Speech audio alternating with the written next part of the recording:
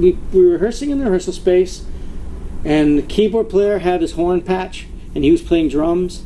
And I came into practice, and I heard them playing this, this just the da na na mm. da na na, and they were just doing that over and over again. And I just picked up my bass, and I just started playing a bass part that fit with that, and that was it. It was really fast. In that Really time, fast. In that Really time fast. of rehearsal, we were in LA mm. rehearsing. Yes, yeah, yeah. And um, myself and Jim, the guitar player mm. at the time, were in a, in this apartment, and um, we didn't have a phone. We couldn't afford to turn the phone on.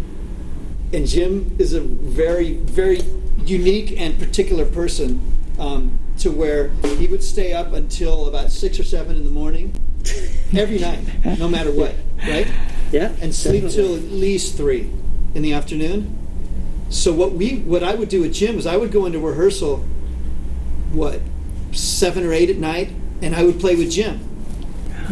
And what I ended up playing with Jim was um, it's that song, the song "Surprise You're Dead" from Real Thing, and um, a big piece of the song "Zombie Eaters" that he was working on. He had a couple of things, and I worked on a couple of things with Jim and I don't remember how it happened, but and, and they weren't coming to practice. Well, where are they? Oh, they'll be here. Whatever, they'll come. They wouldn't. They weren't coming to practice. It turns out that you were rehearsing in the day with Roddy, mm. like a regular routine, as they were rehearsing. Then, and somehow I switched That's and I true. flipped. You remember that? Yeah, that was kind of bizarre. And I flipped never told onto each them other. somehow. Did- I don't know if I saw you somewhere or called you somewhere or, or, or what. Or maybe I came in early one day to like mess with my drums and they were there. Yeah. There's the other half of the band over there. They're playing. It's in the same room.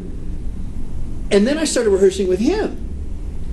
And, and, and I distinctly remember that is exactly like he said, that's where Epic came about. And we were just playing grooves. and it had this groove and then later like uh, like piano stuff was like um,